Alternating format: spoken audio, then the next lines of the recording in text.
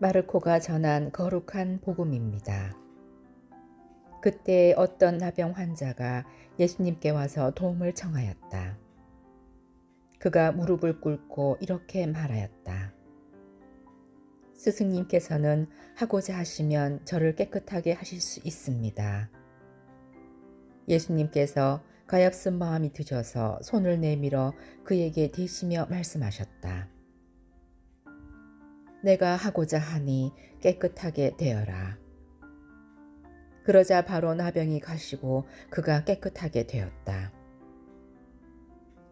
예수님께서는 그를 곧 돌려보내시며 단단히 이르셨다. 그에게 이렇게 말씀하셨다. 누구에게든 아무 말도 하지 않도록 조심하여라. 다만 사제에게 가서 네 몸을 보이고 네가 깨끗해진 것과 관련하여 모세가 명령한 예물을 바쳐 그들에게 증거가 되게 하여라. 그러자 그는 떠나가서 이 이야기를 널리 알리고 퍼뜨리기 시작하였다.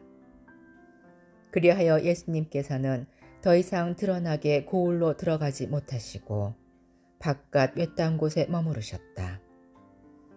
그래도 사람들은 사방에서 그분께 모여들었다.